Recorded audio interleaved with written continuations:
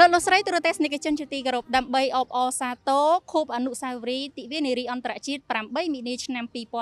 2022គម្រប់111ឆ្នាំឆ្នាំនេះប្រធានបទ សមភាព gender ថ្ងៃនេះដើម្បីជារភាពទៅថ្ងៃអនាគតថ្ងៃនេះក្រុមការងារទូរទស្សន៍ជាតិកម្ពុជានឹងបង្ហាញជូនលោកអ្នកនៅបទយកការស្ដីអំពីស្ត្រីនិងការបំពេញភារកិច្ចការងារនៅក្នុងបរិការ COVID-19 ចង់ដឹងថាតើស្ត្រីបានតស៊ូក៏ដូចជាការបដូរផ្ដាច់បដិញ្ញាអ្វីខ្លះទៅលើការបំពេញការងាររបស់ខ្លួនសូមអញ្ជើញទស្សនាដូចតទៅ។ អំឡុងពេលដែលប្រទេសកម្ពុជាយើងបានជួបប្រទះនឹងស្ថានភាពវីរុស COVID-19 ដោយបណ្ដាប្រទេសនៅលើពិភពលោកដែរក្រសួងសុខាភិបាលគឺជាសេនាធិការដ៏មានសារៈសំខាន់ក្នុងការចែករំលែកនៅព័ត៌មានច្បាស់លាស់ជាក់លាក់គ្រប់វិនាទីតាមដាននិងសហការជាមួយនឹងដៃគូជាតិអន្តរជាតិដើម្បីសុខុមាលភាពប្រជាពលរដ្ឋ ក្នុងនោះស្ត្រីក្នុងវិស័យសុខាភិបាលជាច្រើនរូបបានលះបង់ពេលវេលាដែលធ្លាប់តែមានជាមួយក្រុមគ្រួសារនិងសហគមន៍មកធ្វើការទាំងយប់ទាំងថ្ងៃលះបង់អស់កម្លាំងកាយចិត្តសម្រាប់ប្រជាជនកម្ពុជាលោកជំទាវអវ៉ាន់ឌិនគឺជាតំណាងស្ត្រីនៅក្នុងវិស័យសុខាភិបាល ដែលមានភាពអង់អាចក្លាហានមួយរូបបានបញ្ជាក់ថាពីព្រោះ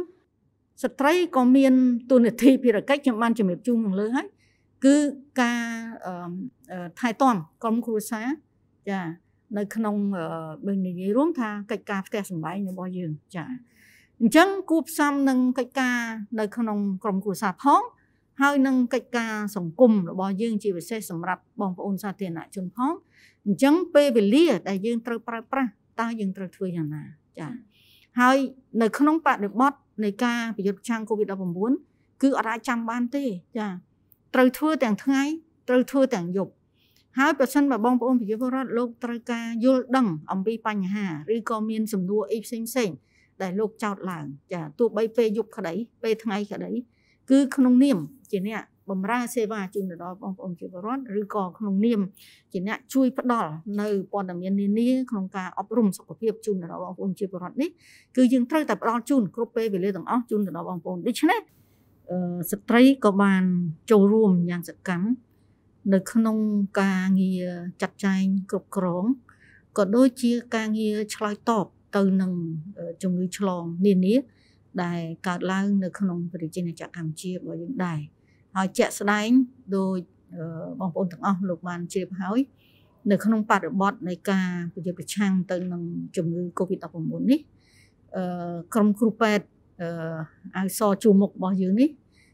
មួយចំនួនគឺជានារីចាហើយអ្នកដែលគ្រប់គ្រងចាត់ចែងដឹកនាំការងារប្រយុទ្ធឆាំងជាមួយនឹង COVID-19 ក៏មួយចំនួនក៏ជាស្ត្រីដែរចាដូច្នេះការចូលរួមរបស់ស្ត្រីនេះគឺមានវិសាលភាពធំធេងណាស់ខ្ញុំអាចនិយាយបានថានៅក្នុងការលើកតម្កើងនៅសុខភាពសម្រាប់ក្រុមគ្រួសារ ការលើកតម្កើងនៅសុខភាពសម្រាប់សហគមន៍ក៏ដូចជាសុខភាពរបស់បងប្អូនជាពលរដ្ឋទូទៅស្ត្រីបានដើរតួនាទីយ៉ាងសំខាន់នៅក្នុងវិស័យនេះដែលខ្ញុំយល់ថាมันអាចខ្វះបាននេះចា៎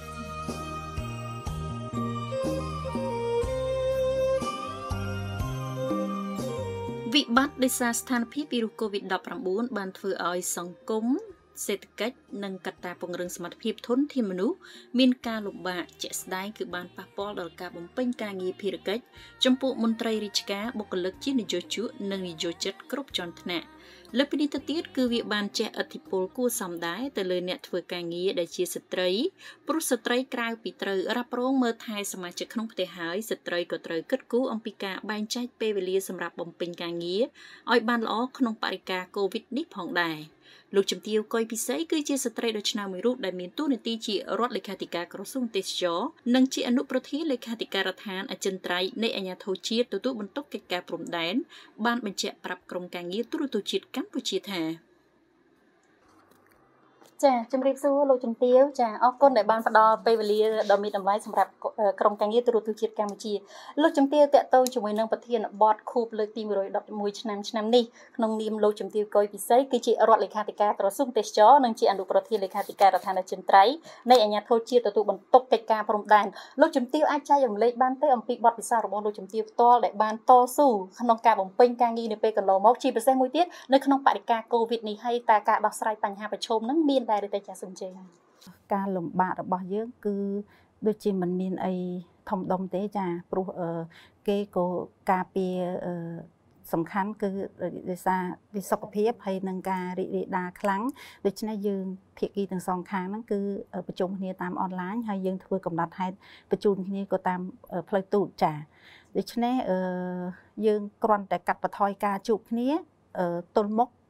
ប៉ុន្តែយើង នៅតែធ្វើការងារជាមួយគ្នាតាមរយៈការទូតតាមរយៈអនឡាញតាមរយៈប្រព័ន្ធបច្ចេកវិទ្យាទំនើបរបស់យើងចាដោយឡែកចុះទៅលើមូលដ្ឋានជាក់ស្ដែងគឺតិចតួចទេនៅក្នុងបប្រតិបត្តិ COVID-19 នេះតិចបំផុតលុះត្រាតែការងារដែលចាំបាច់ខ្លាំងយើងចុះទៅហើយយើងក៏កាត់បន្ថយចំនួនដែរចាចាចាចឹងបានន័យថា COVID-19 មិនមែនជារបាំងសម្រាប់ការងារតាមព្រំដែនទេចាចាយើងគិតថា ជារបាំងក៏បានប៉ុន្តែវាតិចតួចបំផុតចាយើងត្រូវចេះរកវិធីសាស្ត្រសម្របខ្លួនទៅតាមបរិបត្តិជាក់ស្ដែងមានន័យថាឥឡូវគឺយើងដោយសារតែកូវីដយើងត្រូវចេះរស់ជាមួយវាយើងត្រូវចេះធ្វើការជាមួយវាចេះសម្របខ្លួនជាមួយវា នៅពេលដែលយើងយល់ច្បាស់ពីរបៀបការពារខ្លួន ពីរបៀបធ្វើម៉េចកាត់បន្ថយការចម្លងធ្វើម៉េចដើម្បីឲ្យដំណើរការយើងបន្តទៅមុខយើងរកវិធីសាស្ត្រ សម្របសម្រួលបានអាដាប់ជាមួយវាហើយគឺយើងមិនមានអីជាឧបសគ្គទេបងអូនស្រីចា៎និយាយដោយស្មោះត្រង់ទៅខ្ញុំចូលបម្រើការងារព្រំដែននេះបងប្អូនយើងជាពិសេសមិនថាបរោះស្ត្រីក៏តែងតែគិតថាជាការងាររបស់បរោះហើយជាការងារដែលលំបាកចាហើយតាមពិតទៅខ្ញុំគិតថា ចំពោះខ្ញុំការងារណាក៏លំបាកដែរវាមិនវាគ្មានស្អីដែលងាយស្រួលគ្រប់ចំណុចនោះទេប៉ុន្តែអ្វីដែលសំខាន់គឺការតាំងចិត្តរបស់យើង ការតាំងចិត្តកំណត់គោលដៅយើងឲ្យច្បាស់ថាយើងធ្វើបាននោះយើងនឹងធ្វើបានទោះបីជាការងារនោះលំបាកស្មុគស្មាញណាក៏ដោយយ៉ាងណាក៏ដោយឲ្យតែយើងកំណត់គោលដៅច្បាស់លាស់ហើយយើងមានចិត្តអំណត់តស៊ូពុះពៀយើងនឹងធ្វើបានចាហើយប័ណ្ណពិសោធន៍កន្លងមកដែលខ្ញុំធ្វើការងារនោះ ខ្ញុំមានការលំបាកច្រើនហើយការលំបាករបស់យើងមិនមែនលើផ្លូវកាយទេគឺការលំបាកនៅក្នុងការរកយុទ្ធសាស្ត្រនិងយុទ្ធវិធីនិងទស្សនកិច្ចគ្រប់គ្រាន់ដើម្បីការពារផលផលប្រយោជន៍ជាតិចាស់បងអូនព្រោះអីការងារព្រំដែននេះបងអូនស្រីជ្រាបហើយវាជាការងាររសើបហើយ ម្នាក់ម្នាក់មិនថាយើងមិនថាប្រទេសដែលជាដៃគូយើងទេគឺគឺគេស្វាត់ស្វែងតស៊ូដើម្បីការពារផលប្រយោជន៍ជាតិដូចគ្នាគេក៏មានពលរដ្ឋគេគេក៏មានប្រទេសជាតិគេយើងក៏មានពលរដ្ឋយើងមានប្រទេសជាតិយើងដែលយើងជាតំណាងឲ្យប្រជាពលរដ្ឋ16លាននាក់ហើយតំណាងឲ្យកម្ពុជាទៅចេញមុខទៅចូលចរចាពេលកម្មវិធីខ្លះកម្មការងារខ្លះគឺដឹកនាំដោយ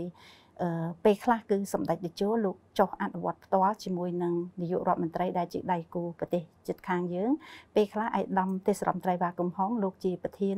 គូលើកដឹកលោកដឹកនាំការងារផ្ទាល់ធ្វើការចរចាហើយពេលខ្លះពួកខ្ញុំផ្ទាល់ដែរខ្ញុំក៏មានភារកិច្ចដឹកនាំក្រុមការងារចុះចរចាជាមួយនឹងដៃគូយើងចាការលំបាករបស់យើងនោះគឺថា ស្វាត់ស្វាងការពារផលប្រយោជន៍ជាតិចានោះជាការលំបាកធំដែលយើងត្រូវទទួលខុសត្រូវចំពោះជាតិនិងប្រវត្តិសាស្ត្រកម្ពុជាយើងចានេះដែលខ្ញុំចាត់ទុកថាជាការលំបាកដែលយើងត្រូវតែមានចំណេះដឹងគ្រប់គ្រាន់នៅក្នុងការទៅចែកវែកញែករក ជំហរមួយច្បាស់លាស់ការពារផលប្រយោជន៍ជាតិដោយឡែកការងារលំបាកមួយចំនួនធំដែលគេគិតថាយើងជាស្រីយើងចុះព្រៃយើងទៅ ដល់ជាដែនយើងធ្វើការជាមួយនឹងបរោះចំពោះខ្ញុំខ្ញុំគិតថាអត់មានស្អីលំបាកទេជារឿងសាមញ្ញរបស់ខ្ញុំទេពីព្រោះថាយើងស៊ាំរួចទៅហើយហើយខ្ញុំចូលចិត្តស្រឡាញ់ការងារហ្នឹងដូច្នេះគ្មានអ្វីដែលជាឧបសគ្គនិងជាការលំបាកចំពោះខ្ញុំទេបងស្រី ទោះជាស្ថានភាពវីរុសរាតត្បាតបាននឹងកំពុងផ្ដល់នូវផលវិបាកយ៉ាងច្រើននៅក្នុងសង្គមកម្ពុជាក្តីក៏ប៉ុន្តែក៏វាបានប្រែក្លាយទៅជាឱកាសដ៏ល្អមួយសម្រាប់វិស័យអប់រំនៅកម្ពុជាយើងដែរដោយសារតែក្រសួងសុខាភិបាលបានគិតគូរយ៉ាងច្បាស់លាស់អំពីវិធីសាស្ត្របង្កលក្ខណៈងាយស្រួលដល់សិស្សានុសិស្សគ្រប់គ្រឹះស្ថានអប់រំឲ្យនៅតែទទួលបានកម្មវិធីសិក្សាបែបសម័យ Digital គ្រប់ពេលវេលាគ្រប់ទីកន្លែងដោយក្នុងនោះភាពជោគជ័យនេះក៏មានការចូលរួមពីស្ត្រីក្នុងវិស័យអប់រំដែរចឹងយើងឃើញថានៅក្នុងរយៈពេល2ឆ្នាំកន្លងមកនេះនៅពេលដែលគ្រឹះស្ថានសិក្សាប្រឈមទៅនឹងការបិទទ្វារក្រសួងអប់រំយុវជននិងកីឡាក្រោមការដឹកនាំពីរដ្ឋាភិបាលគឺយើងនៅតែបន្តធ្វើយ៉ាងណាឲ្យសិស្សានុសិស្សអាចបន្តការរៀនរបស់ខ្លួនតាមរូបភាពចម្រុះចឹងយើងមានការរៀនពីចម្ងាយតាមរយៈប្រព័ន្ធអេឡិចត្រូនិក ការរៀនតាមបណ្ដុំការរៀនតាមរយៈការបែងចែកនៅឯកសារជាกระดาษទៅដល់សិស្សានុសិស្សដែលមិនមានលទ្ធភាពនៅក្នុងការទទួលការអប់រំតាមប្រព័ន្ធអេឡិចត្រូនិកនេះជាដើមធ្វើឲ្យបុគ្គលិកនារីរបស់យើងត្រូវខិតខំអភិវឌ្ឍសមត្ថភាពដើម្បីធ្វើយ៉ាងម៉េចអាចឆ្លើយតបនឹងបរិបទនៃការអប់រំពីចម្ងាយឬការអប់រំតាមប្រព័ន្ធអេឡិចត្រូនិកនេះដើម្បីអាចផ្ដល់នូវការអប់រំពីចម្ងាយដល់សិស្សានុសិស្សផងហើយត្រូវចុះទៅផ្ទាល់ សម្រាប់ការផ្ដល់នៅការអប់រំតាមបណ្ដុំតូចតូចនៅតាមក្នុងផ្ទះផងហើយជាពិសេសពេលត្រឡប់មកវិញគឺគាត់ត្រូវទទួលបន្ទុកនៅក្នុងការថែទាំគ្រួសារធ្វើយ៉ាងណាធានាបាននៅសុវត្ថិភាពសម្រាប់ក្រុមគ្រួសារផ្ដល់នៅការណែនាំដល់បុត្រធីតាក៏ដូចជាសមាជិកគ្រួសារដើម្បីប្រកាន់យកនៅការលើកកម្ពស់អនាម័យក៏ដូចជាវិធាន3ការពារ3កុំនេះដើម្បីធ្វើយ៉ាងណាឲ្យជៀសផុតពីហានិភ័យនៃជីវិត នៃ COVID-19 ក៏ដូចជាដើម្បីការពារសុវត្ថិភាពនិងអាយុជីវិតរបស់ក្រុមគ្រួសារក្នុងបុគ្គលិកអប់រំប្រមាណជាង120,000នាក់យើងឃើញមន្ត្រីបុគ្គលិកអប់រំជានារីប្រមាណ46.5%គឺបើយើងគិតទៅគឺស្មើនឹងពាក់កណ្ដាលនៃបរោះគឺបាននឹងកំពុងចូលរួមបំពេញការងារយ៉ាងសកម្មនៅក្នុងការផ្ដល់នៅសេវាអប់រំធ្វើយ៉ាងណាធានាបាននៅការអប់រំប្រកបដោយសមភាព គុណភាពនិងធានាបាននៅការអប់រំពេញមួយជីវិតសម្រាប់សិស្សានុសិស្សនិងប្រជាពលរដ្ឋគ្រប់រូប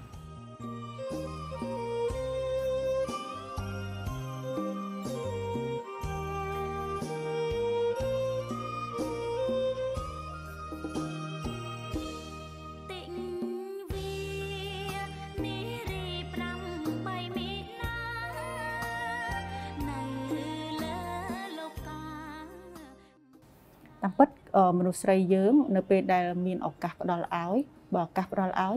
យើងអត់មានចាញ់បរោះនៅកន្លែងណាទេ ចាអឺគ្រួសារផ្ដល់ឲ្យសង្គមផ្ដល់ឲ្យបងយើងសំខាន់គឺយើងម្នាក់ម្នាក់អភិវឌ្ឍខ្លួនប្រឹងប្រែងជួយខ្លួនឯងតាមរយៈការសិក្សារៀនសូត្រតាមរយៈការការងារតាមបទពិសោធន៍ដែលយើងទទួលនៅក្នុងការអនុវត្តនៅការងារហ្នឹងអញ្ចឹងបើមានឱកាសផ្ដល់ឲ្យឱកាសហ្នឹងយើងចង់និយាយថាតាំងចាប់ផ្ដើមចេញពីគ្រួសារទៅ ផ្ដល់ឱកាសឲ្យគាត់ចូលរួមក្នុងការរៀនសូត្រចូលរួមក្នុងការអភិវឌ្ឍផ្សេងផ្សេងសង្គមឬក៏ចានៅក្នុងឋានៈដឹកនាំក្នុងសង្គមហ្នឹងទៅពួកយើងមានសមត្ថភាពដូចគ្នានឹងបរោះអញ្ចឹងចាយើងធ្វើបានដូចគ្នាចានៅក្នុងសូមជម្រាបដែរថានៅក្នុងអគ្គលេខាធិការឋានក្រុមប្រឹក្សាសកម្មភាពជនពិការយើងដែលមានមន្ត្រីសរុបចំនួន67នាក់នៅក្នុងចំណោម67នាក់ហ្នឹងនៅក្នុងនោះមានស្ត្រីចំនួន19នាក់ចា ហើយក្នុងចំណោម19នាក់ហ្នឹងយើងមានឋានៈជាអគ្គលេខាធិការរងចំនួន2នាក់ជាស្ត្រីមានប្រធានផ្នែកម្នាក់ដែលមានឋានៈស្មើប្រធានយុវដ្ឋានហ្នឹងគាត់ជាស្ត្រីដែរហើយនឹងមានអនុប្រធានផ្នែកចំនួន3នាក់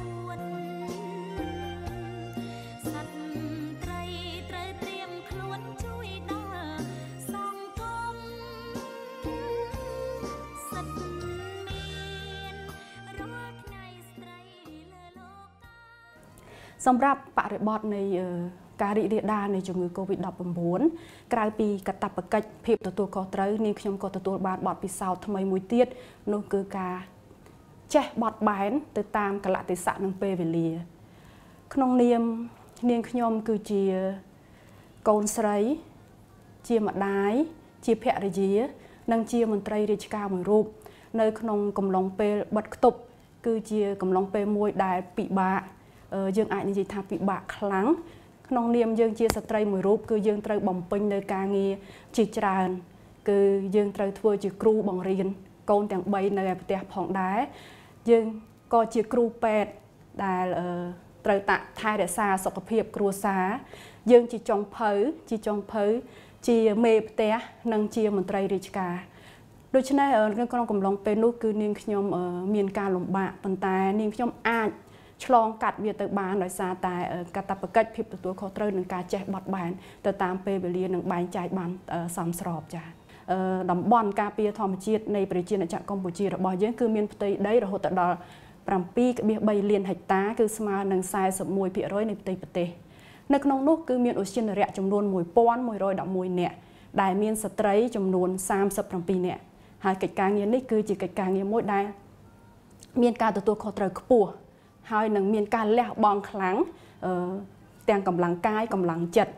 ជាមោទនភាពដែលមានស្ត្រីចូលរួមនៅក្នុងកិច្ចការងារនេះពីព្រោះថាឧស្សាហនរៈគឺជាឆ្មាំព្រៃដែលការពារនៅសម្បត្តិធនធានធម្មជាតិនៃប្រជាណាចក្រកម្ពុជារបស់យើងក៏ដូចជាសម្បត្តិបេតិកភណ្ឌពិភពលោកផងដែរ ហើយតំបន់សហគមន៍មូលដ្ឋាន នៃតំបន់ការពារធម្មជាតិរបស់យើងគឺមានរហូតដល់182សហគមន៍នៅក្នុងនោះស្ត្រីមាន8នាក់គឺជាប្រធានសហគមន៍និង321នាក់គឺជាសមាជិកនៃគណៈកម្មាធិការសហគមន៍តំបន់ការពារធម្មជាតិទាំងអស់កិច្ចការងារនេះគឺស្ត្រីបានចូលរួមដោយផ្ទាល់នៅក្នុងការអនុវត្ត ដូចជាការបង្កើននៅមុខរបរការសន្សំប្រាក់និងការសន្សំប្រាក់ហើយនឹងការផ្ដល់នៅសេវាអេកូទេសចរកម្រិតសហគមន៍ហើយនឹងជាការផ្សព្វផ្សាយស្ត្រីក៏បានចូលរួមនៅក្នុងការផ្សព្វផ្សាយអំពីការគ្រប់គ្រងពង្រឹងតួនាទីស្ត្រីក្នុងការគ្រប់គ្រងធនធានធម្មជាតិការផ្ដល់ព័ត៌មានពិត ប្រភពពិតជូនប្រជាពលរដ្ឋគឺជាកត្តាសំខាន់បំផុតនាយុគសម័យជំងឺរាតត្បាតនេះដែលវាគឺជាចំណុចស្នូលរបស់ក្រសួងព័ត៌មានស្របទៅតាមទិសស្លោកថាប្លែកទុកចិត្តបានពេលណាទីណាក៏បាននិងបានជំរុញឲ្យមន្ត្រីបុគ្គលិកក្រសួងព័ត៌មានត្រូវតែយកចិត្តទុកដាក់និងសង្កេតឲ្យបានច្រើនទោះបីជាត្រូវជួបប្រទះនឹងបញ្ហាប្រឈមមួយចំនួនក៏ដោយ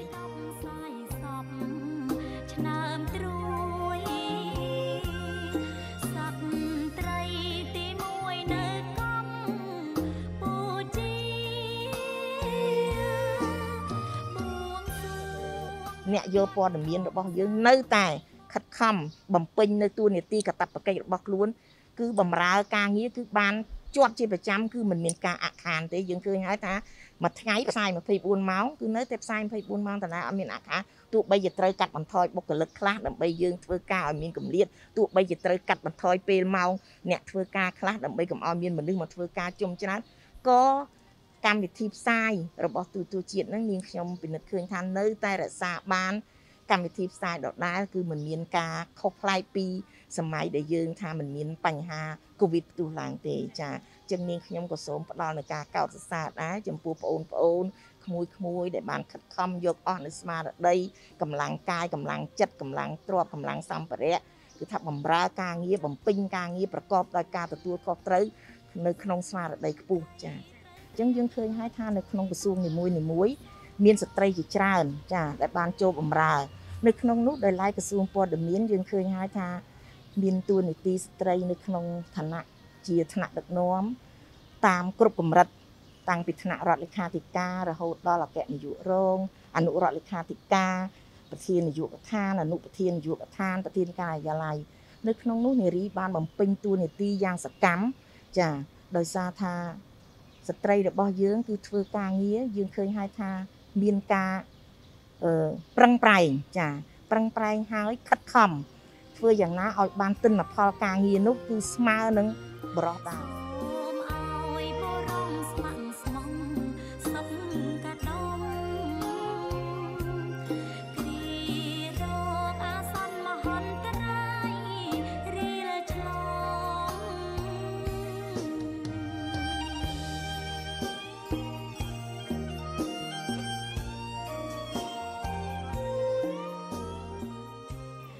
សូមអរគុណនៅក្នុងបប្រតិបត្តិកូវីដដែលរយៈពេលរយៈពេលកន្លងមកនេះគឺអគ្គនាយកដ្ឋានជួជាតិជួបបញ្ហាប្រឈមយ៉ាងច្រើនប៉ុន្តែយើងនៅតែអនុវត្តបានដើម្បីបម្រើប្រជាពលរដ្ឋដោយមិនមានការអខានទេនៅវិទ្យុជាតិនៅតែមាន ការផ្សាយកម្មវិធីគ្រប់កម្មវិធី ដើម្បីបម្រើប្រជាពលរដ្ឋបានដឹងបានស្ដាប់ពីសេចក្តីជូនដំណឹងសេចក្តីប្រកាសរបស់ក្រសួងសុខាភិបាលផ្សេងផ្សេងដើម្បីជូនប្រជាពលរដ្ឋបានដឹងព្រោះវិទ្យុជាតិកម្ពុជាគឺជាស្ពានចម្លង ពីប្រជាពលរដ្ឋមកថ្នាក់ដឹកនាំពីថ្នាក់ដឹកនាំទៅប្រជាពលរដ្ឋចា៎ហើយពេលខ្លះយើងអាចនិយាយបានថាស្ត្រីកម្ពុជាយើងនឹងទាំងអស់នឹង បានចំណាយពេលវេលាធ្វើការបំពេញការងារច្រើនជាងបរោះទៀតព្រោះអីនៅក្នុងម៉ោងធ្វើការគឺគាត់បំពេញការងារនៅនៅកន្លែងធ្វើការរបស់គាត់ហើយបន្ទាប់មកពេលចេញទៅផ្ទះគាត់បំពេញការងារកិច្ចការផ្ទះរបស់គាត់ថែមទៀតផងចា៎ ការផ្ដល់ព័ត៌មានពិត ប្រភពពិតជូនប្រជាពលរដ្ឋគឺជាកត្តាសំខាន់បំផុតនាយុគសម័យជំងឺរាតត្បាតនេះដែលវាគឺជាចំណុចស្នូលរបស់ក្រសួងព័ត៌មានស្របទៅតាមទិសស្លោកថាផ្លាយទុកចិត្តបានពេលណាទីណាក៏បាននិងបានជំរុញឲ្យមន្ត្រីបុគ្គលិកក្រសួងព័ត៌មានត្រូវតែយកចិត្តទុកដាក់និងសង្កេតឲ្យបានច្រើនទោះបីជាត្រូវជួបប្រទះនឹងបញ្ហាប្រឈមមួយចំនួនក៏ដោយ។ ទន្ទឹមនឹងការលំបាកទាំងអស់នោះស្ត្រីជាថ្នាក់ដឹកនាំជាមន្ត្រីរាជការជាអ្នកបម្រើរបស់ប្រជារាស្ត្រទាំងអស់មិនចោះចាញ់ឡើយនៅស្ថានភាពដ៏តានតឹងនេះទាំងនេះក៏ដោយសារតែមានការផ្ដោតតម្លៃនិងចូលរួមចំណែកពីសមភាព gender នៃសង្គមកម្ពុជាយ៉ាងទូលំទូលាយដោយអ្វីដែលស្របទៅតាមប្រធានបទនៃទិវានារីអន្តរជាតិ8មីនាឆ្នាំនេះគឺសមភាព gender នៅថ្ងៃនេះដើម្បីចរភាពទៅថ្ងៃអនាគតចា៎ អឺខ្ញុំសូមអនុញ្ញាតជំរាបជូនថានៅក្នុងការរស់នៅក៏ដូចជានៅក្នុងសង្គមបច្ចុប្បន្នមិនថាតែប្រជាណាចក្រកម្ពុជាទេ គឺបណ្ដាប្រទេស នៅលើសកលលោកទាំងអស់នេះចារាល់កិច្ចការទាំងអស់គឺត្រូវតែមានការធ្វើទៅ មានន័យថាការអនុវត្តទៅ គឺមានទាំងបរិសុទ្ធមានទាំងស្ត្រី ពីព្រោះអឺកិច្ចការមួយចំនួន ស្ត្រីក៏អាចធ្វើបានកិច្ចការមួយចំនួនទៀតបរោះគាត់ជាអ្នកទទួលខុសត្រូវក្នុងការធ្វើតែកិច្ចការមួយចំនួនក៏ជាការរួមចំណែកក៏ជាការទទួលខុសត្រូវរបស់ស្ត្រីដូច្នេះពីរនេះរវាងបរោះនិងស្ត្រីដែលយើងលើកឡើងថាសមភាព gender នេះ គឺមានន័យថាស្ត្រីក៏មានហៅថាសមត្ថភាពមានហៅថាសិទ្ធិនៅក្នុងការអនុវត្ត ការងារប្រចាំថ្ងៃក៏ដូចជាការងារបម្រើសង្គមចាបដំប្រសងគ្នាជាមួយនឹងបរោះដែរចាអាស្រ័យទៅលើសមត្ថភាពនិងការខិតខំប្រឹងប្រែងរបស់ស្ត្រីផ្ទាល់ខ្លួនតែម្ដងចាហើយម្យ៉ាងវិញទៀតយើងត្រូវមើលឲ្យឃើញថាការចូលរួមរបស់ស្ត្រី គឺបានជំរុញឲ្យមានការអភិវឌ្ឍនៅសេដ្ឋកិច្ចក៏ដូចជា សង្គមជាតិរបស់យើងផងដែរ ចាអរគុណសម្រាប់សំណួរយើងឃើញហើយថាស្ត្រី គឺជាឆ្អឹងខ្នងនៃខឿនសេដ្ឋកិច្ចស្ត្រី គឺជាដៃគូដែលមិនអាចខ្វះបាននៅក្នុងការអភិវឌ្ឍសេដ្ឋកិច្ចជាតិចានេះគឺជាប្រសាសន៍របស់សម្ដេចប្រមុខរាជរដ្ឋាភិបាលក៏ដូចជានៅក្នុងគោលនយោបាយដែលបានដាក់ចេញដូច្នេះឃើញថាស្ត្រីគឺជាដៃគូដែលមិនអាចខ្វះបាននៅក្នុងការអភិវឌ្ឍសេដ្ឋកិច្ចជាតិ គឺបើស្ត្រីនិងបរោះគឺថាធ្វើការងារត្រូវតែបំពេញឲ្យគ្នាទៅវិញទៅមកចាมันអាចអត់អ្នកណាបានទេថាมันអាចថាមានតែបរោះធ្វើការនេះបានក៏มันអាចថាឬក៏ថាមានតែស្ត្រីដែលធ្វើការងារនេះបានក៏មិនអាចតួនាទីកន្លែងខ្លះយើងឃើញហើយថានៅផ្នែកសេវាសាធារណៈកន្លែងខ្លះគឺថាស្ត្រីធ្វើការងារច្រើនជាងបរោះឧទាហរណ៍ថាវិស័យធនាគារ ចាវិស័យអចលនទ្រព្យចាវិស័យសេវាបម្រើ ចាយើងឃើញថាស្ត្រី មានការងារច្រើននៅកន្លែងហ្នឹងគឺថាស្ត្រីមានធ្វើការងារច្រើនចាដោយឡែកតាមស្ថាប័ននានាក៏យើងឃើញហើយថាគ្រប់វិស័យឧស្សាហកម្មក៏ស្ត្រីមានចំនួនច្រើនជាងបរិសុទ្ធចាវិស័យខ្លះទៀតគឺស្ត្រីមានសមមាត្រប្រហាក់ប្រហែលនឹងបរិសុទ្ធនៅក្នុងកិច្ចការងារដូច្នេះឃើញថាគោលនយោបាយរបស់រាជរដ្ឋាភិបាលដែលលោកបានដាក់ចេញ គឺថាឲ្យយ៉ាងណាធ្វើឲ្យគម្លាតរវាងស្ត្រីនិងបរិសុទ្ធកុំឲ្យមានគេហៅថាសមមាត្រហ្នឹងកុំឲ្យវាឃ្លាតគ្នាខ្លាំងពេកគឺថាត្រូវតែទាញគម្លាតហ្នឹងឲ្យកាន់តែខិតខិតជិតគ្នាក៏ប៉ុន្តែក្នុងនោះស្ត្រីត្រូវតែខិតខំពង្រឹងខ្លួនដែរចាដើម្បីឲ្យយើងព្រោះថាយើងចង់បានសមភាព gender ឲ្យដូចគ្នា យើងត្រូវតែខិតខំពង្រឹងនៅកិច្ចការងាររបស់យើងឧទាហរណ៍ថាពង្រឹងសមត្ថភាព បង្កើននៅសមត្ថភាព ចំណេះវិជ្ជា ការយល់ដឹងរៀនសូត្របន្ថែមធ្វើយ៉ាងណាដើម្បីឲ្យតួនាទីស្ត្រីកាន់តែឈានមុខនៅក្នុងវិស័យនានាកាន់តែត្រូវបានទទួលស្គាល់កាន់តែត្រូវបានលើកតម្កើងចាដូច្នេះយើងឃើញថាគោលនយោបាយរដ្ឋាភិបាលគឺលោកដាក់ចេញមកគឺល្អសម្រាប់ស្ត្រី ធ្វើឲ្យស្ត្រីគឺថានឹងក្មេងស្រីគឺมันមានការបាត់បង់ឱកាសនៅក្នុងឱកាសរកការងារចា៎ វាពិសេសពិសាណាស់ចាដោយបងអូនស្រីបានជ្រាបហើយតាំងពីនិយាយទៅ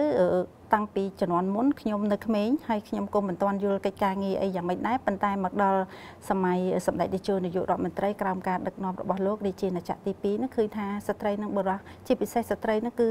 ចូលរួមចំណែកផុសផុលមែនទែនហើយស្ត្រីគឺជាឆ្អឹងខ្នងនៃសេដ្ឋកិច្ចជាតិខ្ញុំអាចនិយាយបានថាស្ត្រីគឺជាខួរក្បាល ខួរក្បាលនៅក្នុងការដឹកនាំប្រទេសចាខួរក្បាលស្ត្រីមិនអន់ជាងខួរក្បាលបុរសទេចា ហើយគ្មានការបែងចែកវណ្ណៈតួនាទីថាការងារនេះឲ្យតែបរោះស្ត្រីមិនអនុញ្ញាតឲ្យធ្វើគឺគ្មានទេចាដោយឡែករូបខ្ញុំផ្ទាល់ក៏ជាតំណាងនារីម្នាក់នៅក្នុងនឹងខ្ញុំមានមោទនភាពនៅក្នុងការធ្វើការងារនាសម័យនេះហើយខ្ញុំក៏ត្រូវបានការលើកទឹកចិត្តពីថ្នាក់ដឹកនាំកម្ពុជាចាបើសិនជាគ្មានសម្ដេចតេជោនាយករដ្ឋមន្ត្រីគ្មានឯកឧត្តមទេសរដ្ឋមន្ត្រីបាកំហុងជួយជំរុញខ្ញុំទេខ្ញុំគ្មានថ្ងៃនេះទេបងអូនស្រីចារហូតមកដល់ថ្ងៃនេះខ្ញុំកាន់តួនាទី2ដោយបងអូនស្រីដឹងហើយការងារទូលដែនផងការងារទេសចរផងសំខាន់យើងមានសមត្ថភាពយើងមានលទ្ធភាពនឹងចូលរួមការងារជាមួយបារាសដោយដោយពេញលេញអញ្ចឹងថ្នាក់ដឹកនាំលោកមើលឃើញគឺលោកផ្ដល់ឱកាសចាលោកផ្ដល់ឱកាសឲ្យខ្ញុំហើយខ្ញុំក៏ คล้ายជាជាថ្នាក់ដឹកនាំមួយរូបដែរដែលផ្ដល់ឱកាសឲ្យបងប្អូនស្រីស្រីចំនួនក្រោយជាពិសេសនៅក្នុងវិស័យទុលដែនក៏ដូចជាវិស័យទេសចរគឺយើងប្រម៉ូតគាត់យើងជំរុញគាត់នៅពេលដែលគាត់មានសមត្ថភាពហើយយើងត្រូវតែរុញច្រានឲ្យគាត់ដើម្បីថ្ងៃក្រោយគាត់ជាអ្នកបន្តវេនចាពីព្រោះខ្ញុំក្តីមិនអាចនឹងធ្វើការងារនេះមួយជីវិតទេយើងចាំបាច់ត្រូវមានអ្នកបន្តវេនចាបងអូនស្រីចាសរុបមកស្ត្រីប្រៀបបានទៅនឹងសរសៃឈាមនៃសង្គមស្ត្រីគឺជាឆ្អឹងខ្នងនៃសេដ្ឋកិច្ចជាតិ ស្ត្រីគឺជាមេដាដៃ100ស្ត្រីគឺជាគ្រូពេទ្យស្ត្រីគឺជាគ្រូបង្រៀនដែលបង្រៀនកូននិយាយឲ្យចំទៅ បង្រៀនមនុស្សលោកនិយាយអញ្ចឹងតែម្ដងទៅព្រោះអីអឺសិតតែកើតពីស្ត្រីទាំងអស់ចាអញ្ចឹងស្ត្រីមានការងារច្រើនហើយបានចូលរួមច្រើនក្នុងសង្គមជាតិហើយដែលសម័យមុន លោកមានពាក្យបុរាណតែងពោលថាស្ត្រីវិលចង្ក្រានមិនជុំតែពាក្យនេះបានតែសម័យមុនទេប៉ុន្តែចំពោះសម័យនេះមិនមែនដូច្នោះទេទេព្រោះស្ត្រី មានសកម្មភាពយ៉ាងច្រើននៅក្នុងការអភិវឌ្ឍសង្គមនិងសេដ្ឋកិច្ច ហើយបើកលេចមកមើលថ្នាក់ដឹកនាំយើងវិញបច្ចុប្បន្ននេះមានថ្នាក់ដឹកនាំជាស្ត្រីនឹងមានច្រើនណាស់ទាំងអបនាយករដ្ឋមន្ត្រី ទាំងរដ្ឋមន្ត្រីនាយកប្រតិបត្តិនាយិកាជាក់ស្ដែងឧទាហរណ៍ដូចនៅក្រសួងព័ត៌មានយើង មានក្នុងអគ្គនាយកដ្ឋានទាំង5ហ្នឹងយើងមានស្ត្រីពីររូបទៅហើយ នេះបញ្ជាក់ឲ្យឃើញថាក្រោមការដឹកនាំដ៏ឆ្លៀសវៃរបស់សម្ដេចតេជោប្រកបដោយគតិបណ្ឌិតធ្វើឲ្យប្រទេសជាតិយើងមានសុខសន្តិភាព មានការលើកស្ទួយស្ត្រីឲ្យមានសិទ្ធិស្មើនឹងបរិះមានការចូលរួមស្មើស្មើគ្នាហើយស្ត្រីក៏មានសិទ្ធិសម្រេចចិត្តក្នុងកិច្ចការងាររបស់ខ្លួននិងកិច្ចការងាររដ្ឋមួយចំនួនផងដែរចា៎ អឺប្រធានបទនេះគឺបើសិននៅសម័យកាលបច្ចុប្បន្នដែលយើងកំពុងតែធ្វើការនេះប្រធានបទនេះគឺសម្រាប់បងបងយល់ថាវាមានសារៈសំខាន់និងមានតម្លៃខ្លាំងណាស់ព្រោះយើងចាប់ផ្ដើមឲ្យសង្គមទទួលស្គាល់នៅសមត្ថភាពអឺ នឹងទួនាទីរបស់ស្ត្រីដែលអាចធ្វើបានដូចបរោះចាអ្វីយើងឃើញថារាល់ថ្ងៃតាមរយៈដែលយើងសង្កេតមើលតាមរយៈនៃការសិក្សារបស់យើងយើងឃើញថាអ្វីដែលស្ត្រីធ្វើបរោះធ្វើបានស្ត្រីក៏ធ្វើបានដូចគ្នាអញ្ចឹងហើយវាជាជំហានមួយដែលធ្វើឲ្យស្ត្រីមានឱកាសចូលរួមស្មើភាពជាមួយនឹងបរោះនៅក្នុងសង្គមតែអីដែលសំខាន់ដោយបងបានថាអញ្ចឹងគឺការអភិវឌ្ឍសមត្ថភាព ចាបើយើងប្រឹងប្រែងតស៊ូជួយខ្លួនយើងយើងជាស្ត្រីប្រឹងប្រែងជួយខ្លួនយើងយើងមានសមត្ថភាពអញ្ចឹងយើងធ្វើបានដូចគ្នារាល់កិច្ចការអីក៏ធ្វើបានដូចគ្នាចាការអបអរសាទរទិវាអន្តរជាតិនារី8មីនាឆ្នាំនេះគឺសមភាព gender ថ្ងៃនេះដើម្បីចេរភាពនាពេលអនាគតនេះគឺបង្ហាញឲ្យឃើញអំពីការឲ្យតម្លៃរបស់សង្គមកម្ពុជា ទៅលើការលើកកម្ពស់សមភាព gender ទៅលើការចូលរួមរបស់ស្ត្រី នៅគ្រប់សកម្មភាពសេដ្ឋកិច្ចនយោបាយនិងសង្គមបច្ចុប្បន្ននេះក្រោមការដឹកនាំរបស់រាជរដ្ឋាភិបាលកម្ពុជា ក្រោមរលកសន្តិភាព ដែលមានសម្ដេចតេជោជាប្រមុខនៃរដ្ឋាភិបាលគឺលោកបានយកចិត្តទុកដាក់នៅក្នុងការជំរុញនៅគ្រប់សកម្មភាព នៅក្នុងការលើកកម្ពស់សមភាព gender ផ្ដល់ឱកាសដល់ស្ត្រីកុមារីគ្រប់រូបទទួលបាននូវការអប់រំការអភិវឌ្ឍសមត្ថភាពក៏ដូចជាឱកាសចូលរួមយ៉ាងសកម្មនៅក្នុងការអភិវឌ្ឍគ្រួសារសេដ្ឋកិច្ចសង្គមនយោបាយអញ្ចឹងយើងឃើញថាបច្ចុប្បន្នគឺស្ត្រីជាច្រើន បាននឹងកំពុងបំពេញការងារយ៉ាងសកម្មជាដៃគូស្មារភាពជាមួយនឹងបរិសទាំងការងារបច្ចេកទេស ទាំងការងារនយោបាយទាំងការងារនៅក្នុងវិស័យយោធាជាដើម អញ្ចឹងគឺគ្រប់សកម្មភាពសេដ្ឋកិច្ចនយោបាយនិងសង្គមតាំងពីថ្នាក់ក្រោមជាតិរហូតដល់ថ្នាក់ជាតិតាំងពីថ្នាក់បច្ចេកទេសនិងការសម្រេចចិត្តនយោបាយគឺសិតតែមានវត្តមានរបស់ស្ត្រីកម្ពុជា ដែលបាននៅកំពុងខិតខំប្រឹងប្រែងចូលរួមចំណែកនៅក្នុងការអភិវឌ្ឍសេដ្ឋកិច្ចនិងសង្គមដែលនេះគឺជាមោទនភាពមួយដែរសម្រាប់ស្ត្រីកម្ពុជាគ្រប់រូបដែលបានកើតនិងរស់នៅ ក្នុងសន្តិភាពនិងមានឱកាសចូលរួមក្នុងការអភិវឌ្ឍប្រទេសជាតិជាការប៉ុណ្ណារាជរដ្ឋាភិបាលកម្ពុជារបស់យើងបាននឹងកំពុងលើកកម្ពស់និងជំរុញនៅការអនុវត្តគោលនយោបាយពង្រឹងសមភាព gender ដែលចាត់ទុកស្ត្រីគឺជាឆ្អឹងខ្នងនៃការអភិវឌ្ឍសេដ្ឋកិច្ចនិងសង្គមជាតិដោយមើលឃើញពីការកិត្តគូរបស់ប្រមុខដឹកនាំយ៉ាងដូចនេះហើយទើបស្ត្រីនិងក្មេងស្រីទទួលបាននៅ លទ្ធភាពនិងឱកាសនៅក្នុងការបង្ហាញនៅសមត្ថភាពពង្រឹងនៅសមត្ថភាពរបស់ខ្លួន ដោយស្មារភាពនិងស្មារសិទ្ធជាមួយនឹងបុរសអឺនេះគឺជាសញ្ញាណដ៏ល្អមួយនៃលទ្ធភាពស្ត្រីនៅក្នុងការបង្ហាញសមត្ថភាពរបស់ខ្លួនដើម្បីចូលរួមចំណែកនៅក្នុងការអភិវឌ្ឍសង្គមកម្ពុជារបស់យើងនាងខ្ញុំសង្កេតឃើញថានៅក្នុងពេលបច្ចុប្បន្ននេះ គឺស្ត្រីកម្ពុជារបស់យើងគឺកាន់តែមានភាពក្លាហាន មានភាពជឿជាក់នៅក្នុងការបង្ហាញសមត្ថភាពរបស់ខ្លួនជាមួយនឹងបុរសនៅក្នុងការអនុវត្តកិច្ចការងារលើគ្រប់វិស័យទាំងនៅក្នុងស្ថាប័នរដ្ឋស្ថាប័នឯកជន ការប្រកបអាជីវកម្មនានាក៏ដូចជាការបម្រើការងារនៅក្នុងអង្គការដៃគូផ្សេងផ្សេងផងដែរបន្ថែមពីលើនេះទៀតការកសាងសមត្ថភាពបើទិញនិយាយជារួមឬមួយក៏និយាយដោយឡែក គឺវិស័យអប់រំនៅតែជាមូលដ្ឋានគ្រឹះដ៏សំខាន់មួយពីព្រោះថាយើងសង្កេតឃើញថាចំនួនសិស្សស្រីត្រូវបានកើនឡើងទាំងបរិមាណនិងគុណភាពជាលទ្ធផល គឺស្ត្រីនិងក្មេងស្រី គឺគាត់មានលទ្ធភាពកាន់តែច្រើននៅក្នុងការសិក្សាអប់រំជាពិសេសនោះគឺការសិក្សាអប់រំផ្នែកវិទ្យាសាស្ត្របច្ចេកទេសក៏ដូចជាវិស្វកម្ម សិល្បៈនៃការច្នៃប្រឌិត និងគណិតវិទ្យា ស្របទៅតាមភាពរីកចម្រើននៃបច្ចេកវិទ្យានិងទីផ្សារការងារក្នុងពេលបច្ចុប្បន្ននិងទៅអនាគតផងដែរក្រមដំបូងសុខសន្តិភាពពួកគាត់ទទួលបាននៅការសិក្សារៀនសូត្រនិងព័ត៌មានគ្រប់គ្រាន់នៅក្នុងនាសម័យ Digital នេះ ជាពិសេសនាងខ្ញុំសូមនិយាយថានៅក្នុងសម័យសម្ដេចតេជោនេះតែម្ដង គឺបានផ្ដល់ឱកាសដល់ស្ត្រីតាមរយៈគោលនយោបាយការបង្កើនចំនួនស្ត្រីគ្រប់លំដាប់ថ្នាក់ការសម្រេចចិត្តរបស់សម្ដេចតេជោនាយករដ្ឋមន្ត្រីនៅឆ្នាំ2017ក្នុងឱកាសអបអរទិវាអន្តរជាតិនារី8មិនិនាខួបលើកទី106ជាការផ្ដល់ឱកាសដល់ស្ត្រីគ្រប់លំដាប់ថ្នាក់ក៏ដូចជានាងខ្ញុំផងដែរក្នុងការបញ្ចេញសមត្ថភាពក្នុងការ ដឹកនាំក្នុងនាមជួរជាស្ត្រីក្នុងជួរថ្នាក់ដឹកនាំហើយនឹងមានគោលនយោបាយគ្រប់គ្រងនិងពង្រឹងសមត្ថភាពស្ត្រីនិងវិស័យរដ្ឋទាំងក៏ដូចជាវិស័យឯកជនដែលធ្វើឲ្យស្ត្រីអាចរួមដំណើរជាមួយបរិសុក្នុងការបំពេញការងារជាមួយគ្នានៅក្នុងពេលបច្ចុប្បន្នចំពោះបទពិសោធន៍ក្នុងនាមជាអភិបាលខេត្ត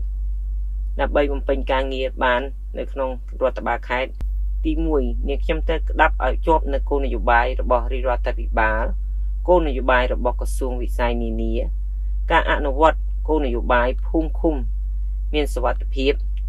និងគោលនយោបាយរបស់ក្រសួងសម័យដែលផ្ទាល់ដែលគឺជាក្រសួងមហាផ្ទៃនិងការថែរក្សាសុខសុវត្ថិភាពជូនដល់បងប្អូនប្រជាពលរដ្ឋក្នុងការរស់នៅនឹងការប្រកបអាជីវកម្មប្រចាំថ្ងៃ។ ជាពិសេសនៅក្នុងបរិបទ COVID-19 ការក្តាប់បានព័ត៌មានគោលនយោបាយនិងវិធានការរបស់រាជរដ្ឋាភិបាលក្រសួងសុខាភិបាល វិធានការបិទគប់និងការចែកជំនួយសប្បុរសធម៌របស់រាជរដ្ឋាភិបាលការបង្កើតនៅមណ្ឌលចាត់តាលិស័កជូនដល់បងប្អូនប្រជាពលរដ្ឋមកពីក្រៅប្រទេស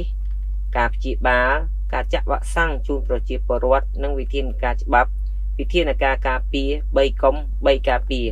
ដែលធ្វើឲ្យបងប្អូនប្រជាពលរដ្ឋភាគច្រើនទទួលបានសុខសុវត្ថិភាពផ្នែកសុខភាព2ភាពស្និទ្ធស្នាលជាមួយនឹងបងប្អូនប្រជាពលរដ្ឋដើម្បីអាចទទួលបាននៅសំណើសំណូមពរនិងតម្រូវការរបស់ពួកគាត់ជាមួយបងប្អូនមន្ត្រីរាជការគ្រប់លំដាប់ថ្នាក់នាងខ្ញុំក៏បានផ្ដល់ភាពស្និទ្ធស្នាលដូចគ្នានឹងបងប្អូនប្រជាពលរដ្ឋ និងបានផ្ដល់ឱកាសជូនដល់ពួកគាត់ក្នុងការបញ្ចេញសមត្ថភាពព្រមទាំងជំរុញលើកទឹកចិត្តពួកគាត់ក្នុងការបំពេញការងារទី3តាមរយៈការប្រមូលផ្ដុំនៅបញ្ហា និងតម្រូវការរបស់បងប្អូនប្រជាពលរដ្ឋក៏ដូចជាបងប្អូនមន្ត្រីរាជការព្រមទាំងសក្តានុពលរបស់ខេត្តរដ្ឋបាលខេត្តបានដាក់ចូលនៅសំណុំពរនិងតម្រូវការទាំងនោះទៅក្នុងផែនការវិនិយោគ5ឆ្នាំរបស់ខេត្ត និងកម្មវិធី3ឆ្នាំរំកិលដើម្បីឲ្យផែនការអភិវឌ្ឍខេត្តបានសម្រេចតាមគោលដៅដែលបានដាក់ចេញនាងខ្ញុំតែងតែតាមដានត្រួតពិនិត្យនិងវិតម្លៃតាមដំណាក់កាលនីមួយៗ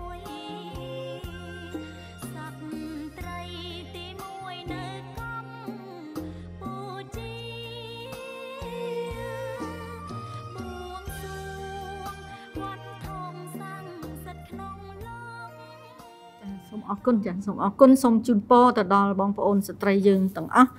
នៅក្នុងប្រជាជាតិកម្ពុជាសូមឲ្យមានសុខភាពល្អបរិបូរណ៍ដើម្បីចូលរួមចំណែកនៅរាល់កិច្ចការងារក្នុងសង្គមជាតិរបស់យើង ហើយជាពិសេសសូមឲ្យស្ត្រីទាំងឡាយបានជៀសផុតនៅការឆ្លងនៃជំងឺ Covid-19 ទាំងអស់គ្នាចាសូមអរគុណចាហើយទន្ទឹមនឹងនេះនាងខ្ញុំក៏សូមគោរពជូនពរប្រមុខថ្នាក់ដឹកនាំទាំងអស់គ្រប់លំដាប់ថ្នាក់ និងសូមជូនពរឲ្យស្ថាប័នព័ត៌មានដែលជាទូនីតិជាអ្នកផ្សព្វផ្សាយនៅរាល់គោលនយោបាយរបស់រាជរដ្ឋាភិបាលសូមមេត្តាផ្សព្វផ្សាយនៅរាល់គោលនយោបាយរួមជាមួយនឹងការបន្តនៅកិច្ចការងារខាងវិស័យព័ត៌មាននេះឲ្យបានប្រជាពលរដ្ឋលោកយល់ដឹងចាបានលឿនទាន់ពេលដូចជាអាយដាមរដ្ឋមន្ត្រីលោកមានប្រសាសន៍ហើយថាអឺលឿនផ្លែកលឿនទាន់ពេលចាអរគុណ ខ្ញុំមិនមានអីច្រើនទេក្រៅពីសូមថ្លែងអំណរគុណដោយដែលបងអូនស្រីនិងទស្សនិកជនមួយចំនួនមិនមានឱកាសបានថ្លែងអំណរគុណសម្ដេចផ្ទាល់តែឥឡូវថ្ងៃនេះខ្ញុំមានឱកាសនិយាយច្រើនតិចថាខ្ញុំសូមថ្លែងអំណរគុណដោយចេញពីបេះដូងតំណាងឲ្យស្ត្រីកម្ពុជានិងពលរដ្ឋកម្ពុជាទាំងអស់ដែលអឺមានឱកាសបានរស់នៅក្នុងមលុបសុខសន្តិភាពហើយបានរួចផុតពីអឺរោគរាតត្បាត COVID-19 ដោយសារតែ ខ្ញុំទាំងអស់គ្នាបានទទួលនៅវ៉ាក់សាំងគ្រប់គ្នាហើយជាក្នុងឱកាសនេះក៏មានឱកាសបានមកផ្ដល់បទសម្ភាសជាមួយនឹងទូតជាតិកម្ពុជាចាវាពិសេសពិសាណាស់ដែលគ្រប់សម័យកាលមកយើងមិនមានបានសន្តិភាពពេញលេញដូចពេលបច្ចុប្បន្នហ្នឹងទេដែលធ្វើឲ្យខ្ញុំជាស្ត្រីនិងស្ត្រីកម្ពុជាទាំងអស់មានមោទនភាពនៅក្នុងការបម្រើជាតិមាតុភូមិដោយពេញលេញហើយយើងសង្ឃឹមថាទៅថ្ងៃអនាគតទាំងវិស័យព្រំដែននិងវិស័យទេសចរនិងជាពិសេស វិស័យព្រំដែននឹងបានបញ្ចប់នៅពេលអនាគតនៅក្នុងរាជការដឹកនាំដ៏ខ្ពង់ខ្ពស់របស់សម្ដេចនាយករដ្ឋនាយករដ្ឋមន្ត្រីហើយវិស័យទេសចរនឹងបានប្រសើរឡើងវិញនៅពេលដែល COVID-19 ត្រូវបានស្រាកស្រានដោយសារតែប្រជាពលរដ្ឋទាំងអស់បានទទួលវ៉ាក់សាំងការពារគ្រប់គ្រាន់ចាសូមអរគុណបងស្រីចានៅក្នុងឱកាសទិវា8មីនាខាងមុខនេះអ្វីដែលផ្ដោតសំខាន់គឺបងសុំជូនពរដល់ស្ត្រីដែលមានពិការភាពទាំងអស់មិនថានៅក្នុងប្រទេសកម្ពុជាឬលើពិភពលោក សូមឲ្យគាត់កាន់តែមានភាពរឹងមាំឡើង ក្លាហានឡើងខ្ញុំក៏សូមជូនពរស្ត្រីទូទាំងពិភពលោក ពិសេសស្ត្រីនៃប្រទេសកម្ពុជាយើងស្ត្រីរបស់កម្ពុជាយើង សូមឲ្យជួបនៅពុទ្ធពរទាំង4ប្រការគឺអាយុវណ្ណៈសុខៈពលៈកំបីគ្លៀងគ្លាតឡាយដើម្បីចូលរួមអបអរសាទរទិវាអន្តរជាតិនារី8មីនាក្រៅមូលបត់សមភាព gender ថ្ងៃនេះ ដើម្បីជេរភាពនាពេលអនាគតនាងខ្ញុំសូមឲ្យប្រជាពលរដ្ឋកម្ពុជាទាំងអស់សូមចាត់ទុកថាការធានាបាននៅសមភាព gender នៅក្នុងគោលនយោបាយនៅក្នុងយុទ្ធសាស្ត្រនៅក្នុងផែនការសកម្មភាពនិងកម្មវិធីអប់រំនានា គឺជាមូលដ្ឋានគ្រឹះដើម្បីធានាឲ្យកុមារីឲ្យស្ត្រីនិងបុគ្គលិកអប់រំជានារីទាំងអស់ ទទួលបាននូវការអភិវឌ្ឍសមត្ថភាពទទួលបាននូវការយកចិត្តទុកដាក់និងឱកាសគឺចូលរួមដោយស្មើភាពជាមួយបរិសុទ្ធនៅក្នុងគ្រប់សកម្មភាពសេដ្ឋកិច្ចនយោបាយខ្លាយជាឆ្អឹងខ្នងនៃសេដ្ឋកិច្ចសង្គមនិងជាមូលដ្ឋាននៃការអភិវឌ្ឍប្រកបដោយចីរភាពសម្រាប់លោកនាងខ្ញុំ8មិនិនាមិនត្រឹមតែជាថ្ងៃនៃការរំលឹកនៃការទៀមទាសិទ្ធិនោះទេប៉ុន្តែវាគឺជាថ្ងៃដែលស្ត្រី ទាំងអស់បានបង្ហាញនូវភាពជោគជ័យរបស់ខ្លួនទៅកាន់ពិភពលោកក្នុងឱកាសដ៏ប្រសើរនេះដែរនាងខ្ញុំក៏សូមជូនពរដល់បងប្អូនស្ត្រី មានសុខភាពល្អនិងរីករាយជាមួយនឹងការងាររបស់បងប្អូនដោយស្ត្រីនិងបុរសគឺជាដៃគូដ៏ល្អក្នុងការអភិវឌ្ឍសង្គមសេដ្ឋកិច្ចជាតិដូច្នេះសូមជួយលើកទឹកចិត្តគ្នា និងសហការគ្នា ក្នុងពេលបំពេញការងារ ដើម្បីភាពរីកចម្រើនសុខដុមរមនាជាមួយគ្នា តាមប្រធានបទអបអរទិវាអន្តរជាតិនារីលើកទី111ក្រោមប្រធានបទសមភាព gender ថ្ងៃនេះដើម្បីចីរភាព ក្នុងន័យចូលរួមបន្តថែរក្សាអភិថែរក្សាការអភិវឌ្ឍជាពិសេសសេចក្តីសុខសន្តិភាពជូនជាតិមាតុភូមិរបស់យើង និងកូនខ្មែរគ្រប់ចំនួនជានិច្ចនិរន្តរ៍រហូតទៅ ចាសសូមអរគុណ អរគុណទូរទស្សនិកជនដែលបានទស្សនាបទយកការរបស់ក្រុមការងារទូរទស្សន៍ជាតិកម្ពុជាហើយតាមរយៈបទយកការនេះយើងខ្ញុំជឿជាក់ថាលោកអ្នកប្រកាសជាជ្រួតជ្រាបច្បាស់អំពីភាពតស៊ូនិងការបំពេញការងារភារកិច្ចរបស់ស្ត្រីគ្រប់ផ្នែកគ្រប់វិស័យហើយទោះបីជាពួកយើងស្ថិតនៅក្នុងការរស់នៅបែបកន្លងប្រក្តីភាពថ្មីក៏ដោយជាចុងក្រោយនេះជូនពរលោកអ្នកទទួលបានសុខភាពល្អជាពិសេសជូនពរដល់ស្ត្រីគ្រប់រូបចា៎ ទទួលបាននូវភាពជោគជ័យគ្រប់ភារកិច្ចការងារនិងមានសុខភាពល្អគ្រប់គ្រប់គ្នានៅពេលនេះនាងខ្ញុំរួមជាមួយនឹងក្រុមការងារទូរទស្សន៍ជាតិកម្ពុជាសូមអរគុណនិងសូមជម្រាបលា